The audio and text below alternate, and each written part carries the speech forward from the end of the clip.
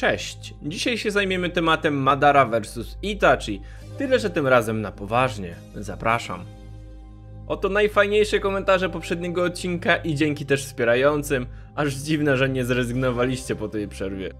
Jak już jesteśmy przy przerwie, to chciałbym szybko się wytłumaczyć. Otóż nie było mnie na YouTubie przez miesiąc przez to, że chodzę do pracy. Przez jeden tydzień miałem gości, więc nie miałem jak nagrywać. No a większość czasu spędziłem przy tworzeniu gry MMO o tematyce Pokémonów, którą chcemy dla was wypuścić.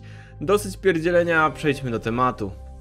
A więc dla tych, co nie wiedzą, poprzedni filmik był tylko i wyłącznie parodią ludzi twierdzących, że Itachi bez problemu by wygrał, bo kocham Itachiego i nie podali żadnych argumentów, więc celowo i ja ich nie podałem. Zacznijmy więc od w sumie najważniejszego argumentu, czyli tego, że za życia Madara nie miał żadnych szans, ponieważ był wrakiem człowieka i ledwo mógł się poruszać.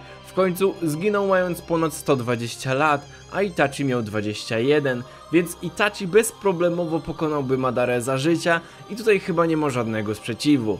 Jednak jeśli pominąć fakt, że prawdopodobieństwo spotkania się tej dwójki było bardzo nikłe, to przeanalizujemy różne stany obydwóch panów. I tak mamy Itachiego jako dziecko oraz Madarę jako dziecko i mimo, że dość mało o nich wiemy z tamtego czasu, to sądzę, że wygrałby Itachi. Jego umiejętności jak na dziecko już wtedy były duże, był biegły w taijutsu jak i ninjutsu oraz posiadał niezwykłe taktyczne myślenie jako już młody człowiek. Madara wtedy już też był mocny jak na swój wiek, jednak inteligencja działała tutaj na korzyść Itachiego. Następnie mamy od razu skok w przyszłość. Weźmiemy w tym przypadku Itachiego z Akatsuki i Madarę z czasów młodości, z czasów wojny jeszcze przed Eternalem. I tutaj również uważam przewagę Itachiego nad Madarą. Mimo tego, że Madara był wtedy najsilniejszym z Uchihów i tylko Hashirama mógł się z nim mierzyć, tak umiejętności Itachiego z poprzedniego porównania drastycznie wzrosły, do tego świetnie władał swoim Sharinganem. Bezapelacyjnie przyznaję tutaj rację swojemu fanboyostwu Itachiego, był lepszy, myślę, że nawet byłby w stanie złapać Madarę w Genjutsu. A co jeśli Madara zdobył już Eternala? No i tutaj robi się ciekawiej. Wtedy jego umiejętności zwiększają się niesamowicie. Jest w zasadzie mocniejszy we wszystkim i tutaj raczej już by był problem, żeby pokonać go tak na 100%. W tym momencie Genjutsu, mimo że potężne, mogło już przestać działać tak dobrze. W kwestii Suzano szala przechyla się wciąż na korzyść Itachiego, bo jednak lustro Yata i miecz Totsuka robi robotę, ale nie wiemy co na to pokazałby Madara. Finalnie wciąż powiedziałbym, że wygrałby Itachi. No i tutaj niektórzy zakończyliby swoje dochodzenie, ale jest jeszcze Edo Tensei. Edo Madara vs Itachi jeszcze przed Edo Tensei wygrywa bezproblemowo. Dlaczego? Oto powody. Zanim jeszcze Madara zdobył Rinegana, walczył z piątką Kage, których rozwalił bez problemu dzięki chociażby niekończącej się czakrze i regeneracji ciała. Dodatkowo jeszcze miał wszczepione komórki Hashiramy, co dawało mu potężnego boosta. Postawcie teraz Itachiego przed piątką Kage. Nie widzę tego, nie byłby w stanie ich pokonać, ale to nie wszystko. Wlatuje tutaj jeszcze jego mega doświadczenie. Nie licząc jakichś Otsutsukich, to Madara był najbardziej doświadczonym ninją wszechczasów. Równać się z nim mógł chyba tylko Kakuzu, który też żył na tym świecie bardzo długo. Mając takie samo regenerujące się ciało, potężny wachlarz ataków, doświadczenie i brutalną siłę rozgromiłby Itachiego. Nie pomogłoby nawet lustro Yata i miecz Totsuka. Dlaczego zapytacie? Powiem o tym w kolejnym porównaniu. A więc mamy Edo Madare i Edo Itachiego, więc z automatu Itachi też dostał potężnego boosta w postaci nieskończonych pokładów czakry i świetnego ciała. Większość argumentowała tutaj nawet tym, że był w stanie pokonać Nagato, co jest straszną brednią, ponieważ nie zrobił tego sam, to po pierwsze. Po drugie, Edo Nagato był zajęty walką z Naruto i Killer Bee. Dodatkowo chciał być pokonany i wręcz pomagał swoim przeciwnikom, podpowiadając im jaki atak teraz wyprowadzi i tym podobnie. Więc tak, dzięki Itachiemu Nagato został pokonany, ale nie zrobił tego solo i nie sądzę by mógł to zrobić. Tak czy siak Edo Madara i Edo Itachi to dużo równiejsza walka niż poprzednie porównanie, ale w ogólnym rozrachunku na niewiele by się to zdało. Genjutsu, którym specjalizuje się nasz ulubieniec najpewniej nie działałoby albo miałoby dość średni efekt.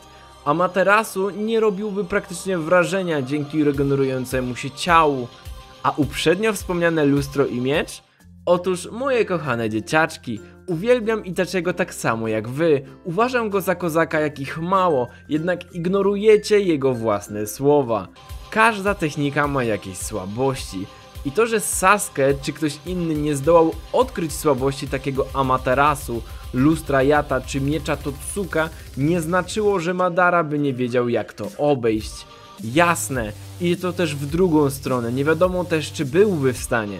Ale szczerze mówiąc, przy takim doświadczeniu, jakim władał, możliwość obserwowania wszystkiego dzięki Zetsu, nie sądzę, żeby nie był na to przygotowany. Mimo tego, że dalsza konwersacja nie ma zbyt wielkiego celu, to przedstawię kolejne argumenty, ale zanim to, to jeszcze rozwieję te słowa, jakoby Kishimoto kiedykolwiek powiedział, że gdyby Madara konfrontował się z Itachim, to wojna szybko by się skończyła. Po pierwsze, nie znalazłem żadnego źródła tych słów. Wiele osób je argumentuje, ale nikt nie jest w stanie podać gdzie i kiedy padły te słowa. Ale nawet jeśli, to nie wszystko co mówi czy robi twórca ma sens. Tak jak to, że Sasori przegrał z Sakurą i Chiyo, czy to, że Kakashi był w stanie równać się z Obito po przeniesieniu ich Kamui, to też nie miało żadnego sensu. Tak więc mamy Madarę z Rinneganem, a wciąż kontrą jest Edo Itachi, czyli jego najsilniejszy stan. Madara w tym momencie bardzo mocno przewyższa Itacha. Chociażby weźmy tutaj za przykład dodatkowe Limbo, którego Itachi nie miał jak uniknąć. Nie miał ani Rinnegana, tak jak Sasuke, czy możliwości wyczuwania obecności Limbo, jak Naruto. Już wtedy Madara nie miał sobie równych na wojnie. Nikt jeden na jednego nie byłby go w stanie pokonać. Może jedynie Guy z ósmą bramą, tym samym zabijając też siebie, więc to żadna wygrana. Żeby tego było mało, to jeszcze nie jest koniec, bo mamy jeszcze Madarę sześciu ścieżek, który był po prostu niezniszczalny przez żadnego człowieka w świecie Naruto. W końcu próbował Guy, próbowali Naruto i Sasuke łącząc swoje siły na nic. Jedynie taijutsu miało tutaj jakikolwiek sens, a taijutsu Itachiego nie równało się z taijutsu Madary w zasadzie nigdy, do czego przejdę w podsumowaniu. Podsumuję teraz poszczególne aspekty obydwóch panów, także lecimy. Taijutsu. Tak jak już mówiłem, Madara był na poziomie boga w porównaniu do Itachiego. Co prawda Itachi też coś tam potrafił, a nawet bym powiedział, że dość sporo, ale nigdy nie preferował taijutsu i w porównaniu do Madary, który walczył sobie z setkami ninja nazywając to po prostu tańcem, było niczym. Ninjutsu. Tutaj od zawsze królował ponownie Madara. Tak jak Katon w zasadzie raczej nie ma żadnego znaczenia przeciwko Amaterasu, tak Madara był w stanie tworzyć potężne ściany ognia, wykorzystując do tego jedną rękę, a ogień nie był nawet jego podstawową naturą, a był nią wiatr, co już daje pole do popisu. Znał też więcej technik i miał je opanowane w dużo lepszym stopniu niż Itachi, w końcu miał na to czas i wiele, wiele okazji. Genjutsu. Nie ma żadnych wątpliwości, że w tym starciu wygrywa Itachi. Jednak dzięki temu, że Madara był reinkarnacją Indry, posiadał lepsze sprawności wizualne i tak jak uważam, że do momentu zanim Madara zdobył Eternala, Itachi byłby go w stanie pokonać dzięki użyciu Genjutsu, tak w późniejszym czasie już byłby to problem. Chakra. Ktokolwiek uważa, że Itachi miał większe pokłady czakry niż Madara? No nie. QB nawet stwierdził, że posiada on bardziej złą czakrę niż jego własna, a to już jest dość ciężkie. Susano. Mimo tego, że Itachi posiadał miecz Totsuka i lustro Yata, to jeszcze musiałby być w stanie tego użyć na Madarze, który był dużo, dużo szybszy, pomijając już to, że Madara mógł wiedzieć w jaki sposób tego uniknąć lub przeciwdziałać, bo to mądry chłop był i cholernie silny. Do tego wszystkiego dochodzi jeszcze jeden niepomijalny aspekt, czyli choroba Itachiego, która uniemożliwiała mu używanie pełnej mocy i wręcz przez to był ograniczony, ale gadanie e, jakby nie był chory, to by go rozwalił. Jest totalnie bez sensu, bo gdyby Kiba był silniejszy, to pokonałby Kaguję. Podsumowując, w niektórych momentach życia Itachi miał przewagę nad Madaro, ze względu chociażby na swoje świetne genjutsu, miecz Totsuka i lustro Yata, które niestety w późniejszym czasie nie miało aż takiego znaczenia, z racji na niesamowite umiejętności jego oponenta.